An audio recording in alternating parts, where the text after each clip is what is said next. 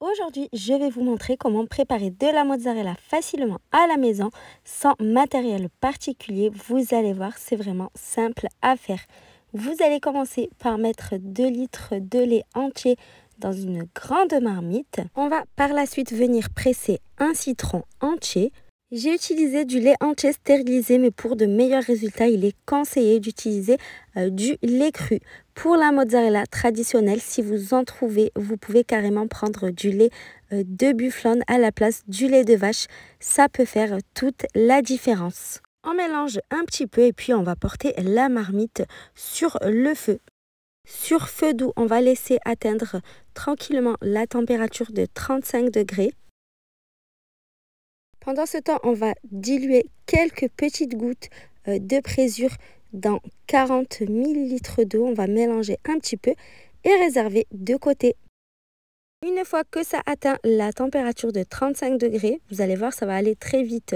C'est euh, bien avant le point d'ébullition. Ce n'est même pas assez chaud pour pouvoir euh, vous brûler le doigt. Donc vous allez venir ajouter la présure diluée dans l'eau. Il est préférable d'utiliser un thermomètre de cuisson pour pouvoir contrôler parfaitement la température de cuisson euh, du lait et mettre toutes les chances de votre côté pour réussir votre mozzarella. Après avoir bien mélangé, vous allez éteindre le feu, mettre le couvercle et laisser reposer pendant 10 minutes hors du feu. Après 10 minutes de repos, on voit bien que le cahier s'est formé la surface, il s'est euh, parfaitement séparé euh, du petit lait. On va venir former euh, des petits quadrillages. La présure ou la culture bactérienne, vous pouvez vous la procurer facilement en pharmacie. Sinon, vous pouvez aussi remplacer par du vinaigre blanc.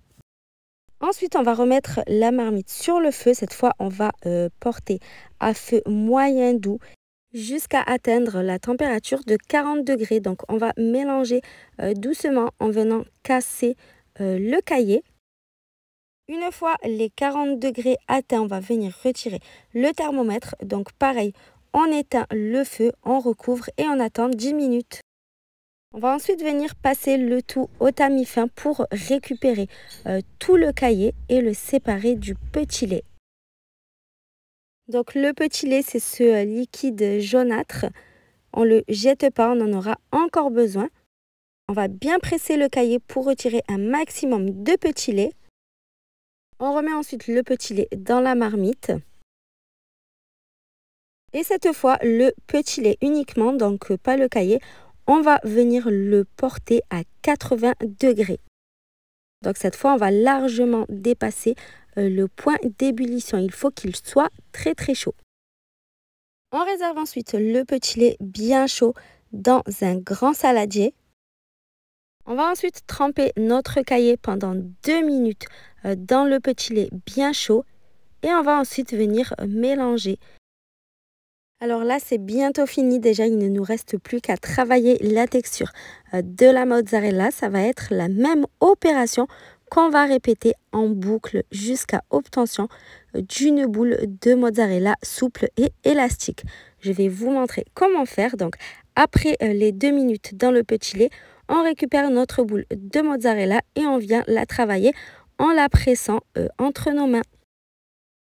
Et on répète l'opération, on la remet euh, dans le petit lait pendant deux petites minutes et puis on la reprend pour la travailler. On commence par bien la presser pour extraire un maximum euh, de petits lait.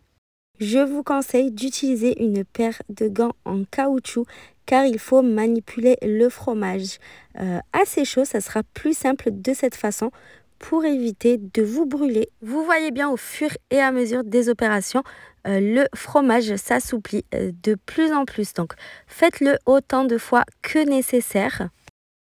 N'hésitez pas à parcourir ma chaîne pour d'autres idées de fromage fait maison. Il y a beaucoup de choix.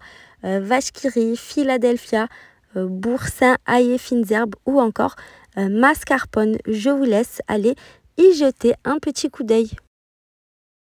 Si vous sentez que votre petit lait commence à refroidir, n'hésitez pas à le réchauffer un petit peu. Clairement, c'est à ce moment-là que tout se joue. Donc, malaxez bien euh, votre boule de fromage. Vous allez voir, elle va devenir de plus en plus élastique. Là, ça commence déjà à bien prendre forme, vous voyez. Une fois que vous avez obtenu euh, la texture désirée, vous allez venir saler euh, votre mozzarella et bien malaxer encore une fois. Vous trempez une dernière fois la mozzarella dans le petit lait et vous allez ensuite venir former une boule bien ronde. Ensuite, pour garder la forme et la texture de votre mozzarella, vous allez venir la tremper dans un grand bol d'eau dans lequel vous aurez mis quelques glaçons histoire que ce soit bien froid.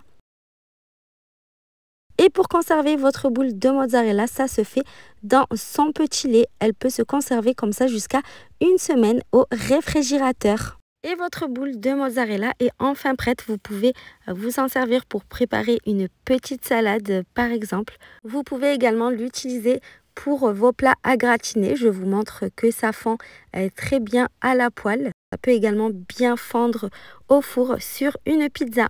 J'espère que la recette vous a plu. À bientôt